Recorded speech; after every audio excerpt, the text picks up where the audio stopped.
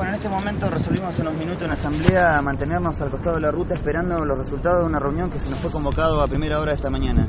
Eh, la verdad que nosotros le veníamos planteando al gobierno hace mucho tiempo que los tiempos de ellos no son los tiempos nuestros, la necesidad es acuciante para las fábricas recuperadas, todos saben lo que ha sido el impacto del tarifazo, todos nos damos cuenta, digamos, del impacto que está teniendo el ajuste, la inflación, la desocupación. Ayer nos noticiamos de que cerró una de las plantas de San Lorenzo en San Luis, dejando 300 familias en la calle.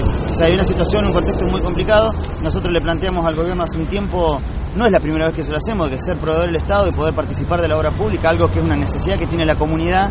Y bueno, se nos fue negado sistemáticamente. En esta oportunidad le presentamos un convenio donde quisimos avanzar, pero lamentablemente los tiempos son los que nos están complicando y por eso hoy lo que resolvimos en este momento es, mientras se desarrolla la reunión, eh, estar apostados al costado de la ruta y en función de los resultados de la reunión veremos si nos damos el paso y nos subimos a la ruta.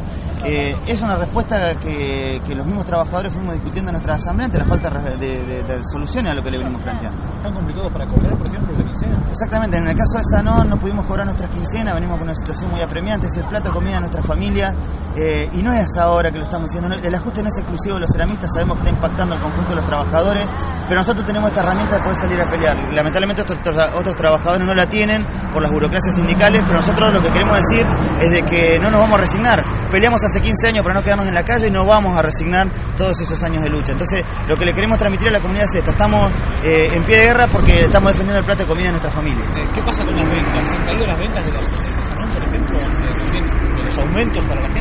Sí, claramente, digamos, se desplomó la construcción cerca de un 40-41%, eso es lo que dicen las estadísticas, nosotros lo sufrimos directamente y esto nos pega tanto en el bolsillo de nuestros hogares como en la fábrica con los tarifazos. Es claro, digamos, que la gente no puede hoy ni mantener el plato de comida en sus casas, entonces es difícil que salga también a plantearse la posibilidad de construir, o sea, hay un contexto que está complicando mucho la situación y nosotros queremos ser parte de esa lucha porque entendemos de que lo que puedan conquistar los trabajadores en su conjunto también nos beneficia a nosotros, pero tenemos que defender nuestra fuente de trabajo y acá estamos. Eh, si no llega a haber alguna respuesta en estos días, ¿qué puede llegar a pasar en los próximos días, la próxima semana?